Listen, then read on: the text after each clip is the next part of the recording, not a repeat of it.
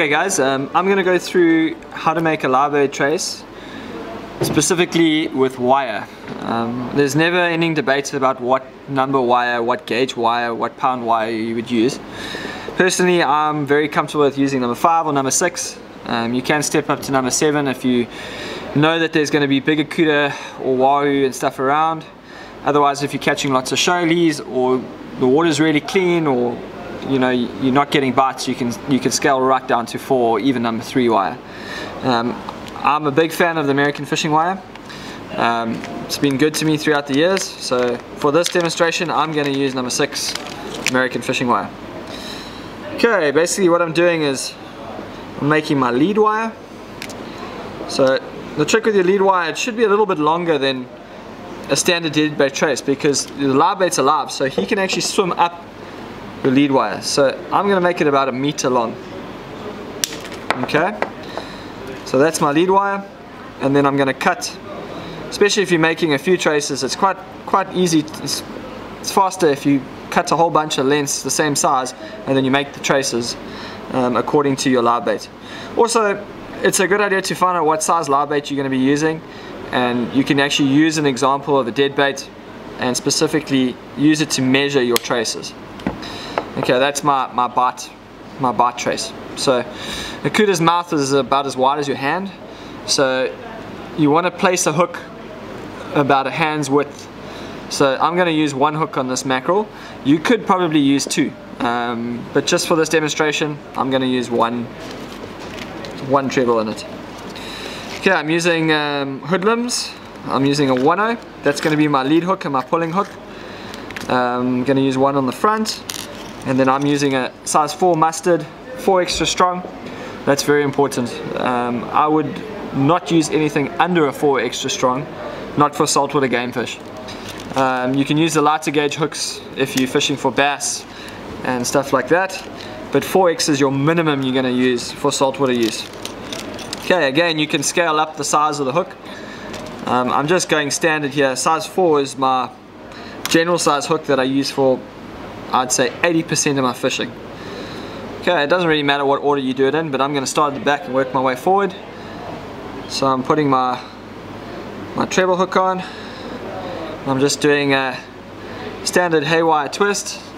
So you can see it's uh, on the back of the packaging if you're not sure how to do that. But you do 345s and three 90 degree turns. I'm just going to do this quickly.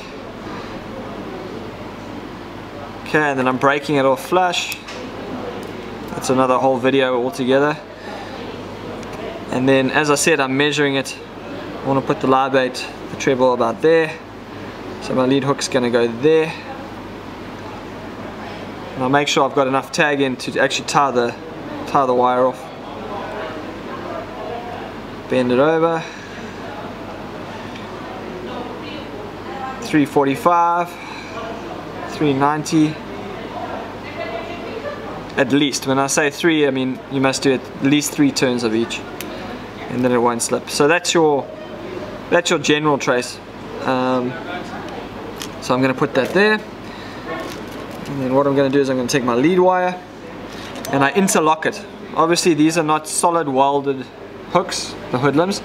So I go through the eye of the hook and I go through my wire so that they are they're interlocked. Let me tie it off and I'll explain to you a little bit better how that works. Three turns. Another three turns. So if you can see there the wires are actually interlocked. So the one loop is through the other loop like a link of chain. So it can't pull out of the of the eye of the hook where, there's, where it's not welded solidly closed. Um, it doesn't happen very often. I don't think I've, I can't remember the last time that happened. Um, but yeah, I do think it's important to, to use a good quality lead hook. Um, often that's the hook that saves you. Okay, then what I do is I've got a I've got a green and a pink bead here.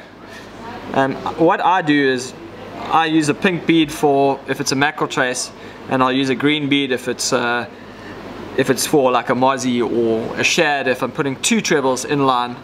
So it's more for me when I'm looking through my tackle box. I know that pink is big and green is small.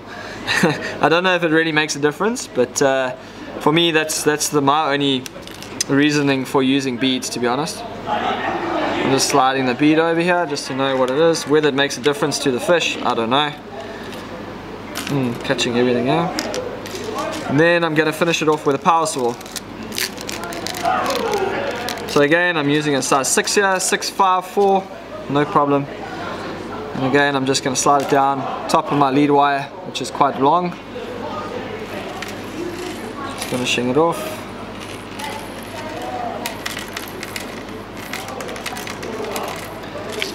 Three turns, breaking it off.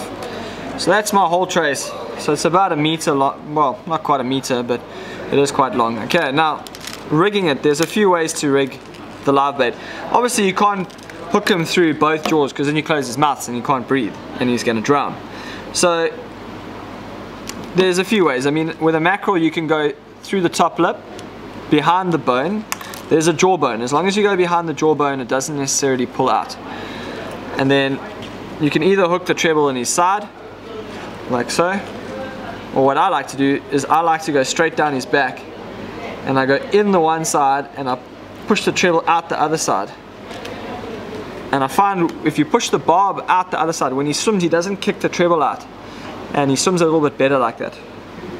Um, I find if you rig the live bait through the top lip this way, vertically, when you pull him, he does want to fight on his side. So as you're trawling him, he, he wants to fight on his side. So I found a, a slightly more natural way. Obviously, he gives a little bit more action, probably going to draw a little bit more attention to himself by rigging him that way. But again, that's, that's personal preference. But I find they swim a little bit better and they live a bit longer if you actually go sideways through his nostrils. So in the one nostril and out the other nostril. So when you trawl him, he actually swims like directly behind you instead of fighting left and right on the surface. And then again, as I said, I go down the down his back, push the treble in, and push the barb out. And that's how, and then obviously I've got my my little bead so I can see what color and what, what length trace it is. Then obviously if if a laba, if, if something's chasing him, he'll often swim up the lead wire. So that's why it's quite important because it often will hook on the treble like that. And that's how you get bitten off. So it is quite important to make a quite a long lead wire, especially on a bait trace. And that's my bait trace. As I said, you can uh, you can add an extra treble if you wanted to. I'll just tie it in line so you, you just add one onto there, piece of wire onto there and just put another, and you can put another treble. I wouldn't use a second snood, another, a second piece of wire coming off because you know you got wire on both sides, you can't really hide it so well in the live bait. So just tie everything in line. You can also put a bigger hook if you're worried about uh, the number four, but I've had no problem with number fours in the past. Caught plenty of fish in it. So that's your live bait trace rigged with wire for toothy fish.